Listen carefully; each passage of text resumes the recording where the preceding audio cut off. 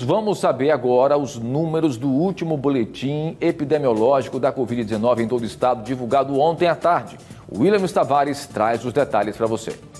De acordo com os dados epidemiológicos divulgados pela Secretaria de Estado da Saúde, desde o início da pandemia até agora, são 180.103 casos.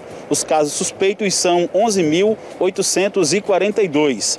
Estão recuperadas da doença 171.763 pessoas. No total, são 4.381 óbitos.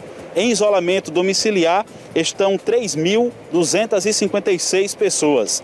Nas últimas 24 horas foram confirmadas mais 17 mortes, sendo 9 na capital e 7 no interior do estado. A faixa etária das vítimas é entre 46 e 79 anos. Jaraguá, William Chavares.